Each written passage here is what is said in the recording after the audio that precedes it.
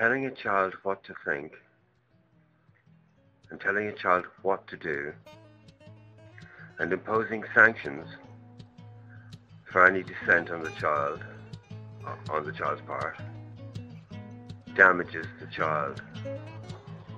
It undermines the child's own ability to think and learn for themselves. It also expresses a deep and profound mistrust of the natural intent and desire of the child to grow and to be part of the world into which the child is born. Uh, if you look at a blog called Freedom to Learn by Peter Gray, you'll find plenty of research into the hunter-gatherer um, approach to child rearing, which uh, really shows that our natural state is one of autonomy, one of trust. Uh, uh, the natural state is to trust that the child uh, knows what he or she is doing as they grow up. And this mistrust is expressed in our civilization in so many ways and culminates in the rights of authority to use violence to retain its authority. Uh, telling a child what to think and what to do with sanctions imposed upon them um, is the basis for all the negative, destructive behavior that we see that emerges from within uh, this culture we call civilization. If you want to change the way the civilization is uh, behaving, you must start with the children and uh, trust the children, trust the innate natural child.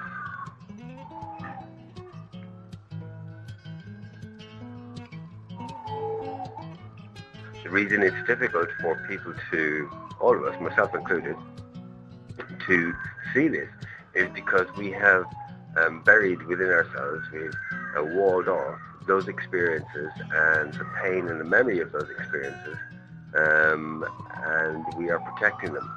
So when, for example, a parent meets uh, their own child, uh, that child comes to the point where they are growing through the experience that the parent didn't grow through and that they have forgotten.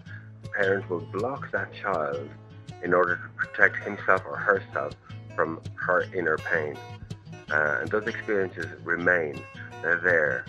Uh, and they will stay there and be misunderstood until they are understood.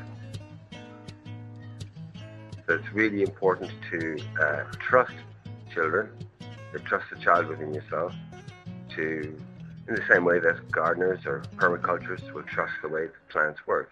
We know that nature works, and it works impeccably. And yet, we totally do not trust our children, and that needs to be addressed if any real change is going to come.